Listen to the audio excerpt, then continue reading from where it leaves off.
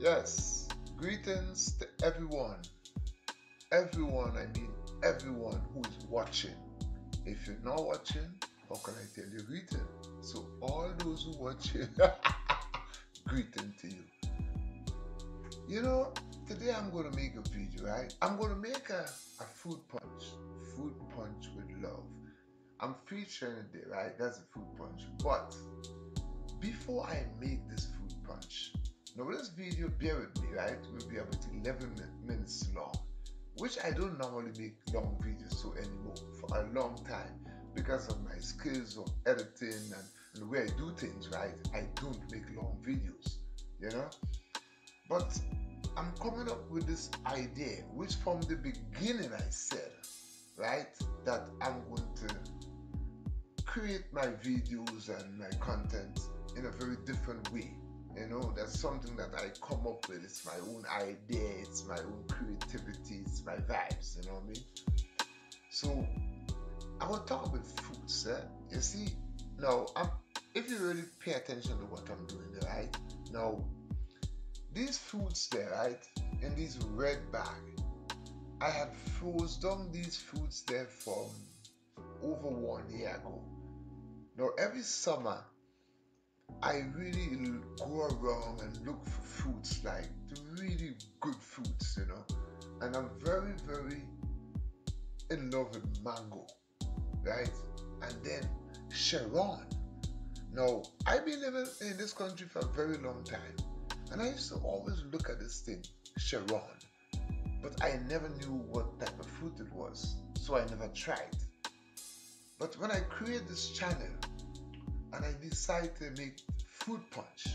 I say, you know something, let me experiment. Whatever the fruit is, I'm gonna try it, right? So, after five years as a content provider, I don't think there is not a fruit that I did not try. Now, I always said too that if there is a fruit I don't know about and someone tell me, wow, I will try because it's a fruit, right?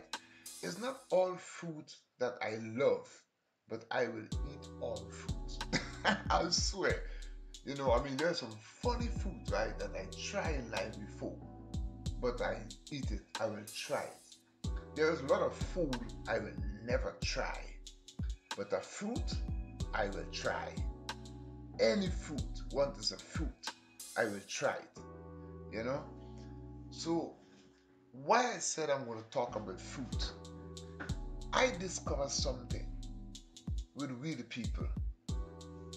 We give up fruits. For what? For bottled drinks.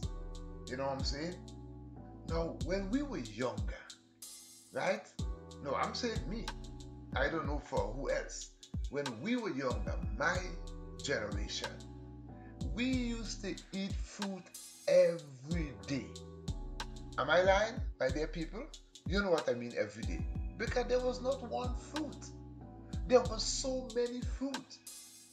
And mango is one of the fruit that you could almost get the most species of mango. There is all type of mango. I eat mango in my life before. I don't even know the name of them. You know, we even give them name. The bus stop, you know, because you know there's a mango at the bus stop, you know, where we used to sit but we didn't know the name of the mango, so we used to say, let's go and eat some bus stop. Let's go for some bus stop. So that is how we used to name mango. But what I used to love about this, when we were younger, how much money did we have? No.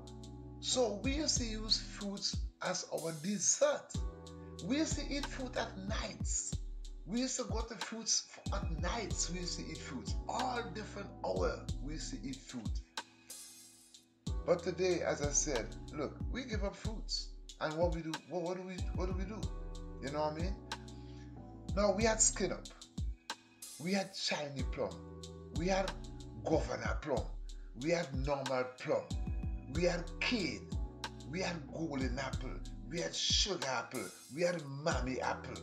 We had you know, help me, help me, man. We had we had we, we had pomsite. We had uh, we had um governor plum skin up. Did I say skin up? Then we had Shebef. Um, um, what is this Shebef? Yeah. I mean, we had oh, we had stinking toe. You understand? We had all type of fruits. You understand? We had uh, cashew too, cashew, kushu. I mean, whatever the fruit is, we used to eat it, and there was some very, very, very sweet fruit. Now here, let me explain something to you now. A commentary thing. I grew up with my grandfather, and here is my grandfather. When I when I was born, he had everything there already. So I born into that. You know, I mean, we used to eat so much of fruits that sometimes you can say, hey yo, when we go home at nights for lunch, we couldn't eat the food because we eat so many food during the day. You know that we could not eat the food, the food that was given to us by our parents. So, my dear people, I'm asking you, why it is that you people refuse to plant fruits? And another thing, why it is that you people cut down a fruit tree? I'll tell you a story about a foolish person who I know in this country here. He had a, a, a, a plum tree, one of the sweetest plum I eat in Sweden. The sweetest plum. That individual, you know, he did, he cut it down because he wanted to put some chairs to sit down below there. So they cut the tree down. They want to put some chairs where they could sit down and drink rum, man. so that's what I'm trying to tell you, we people. But I see they do that in the Caribbean too. they cut down the fruit trees to do what? To plant a house, a big house. You know, they cut down the trees.